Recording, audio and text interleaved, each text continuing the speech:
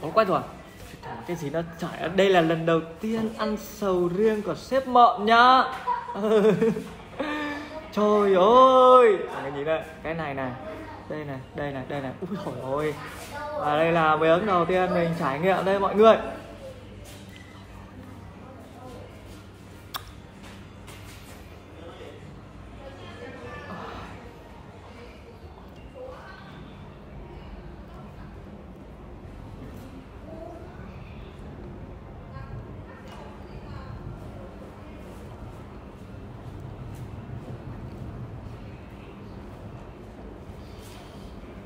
đấu trường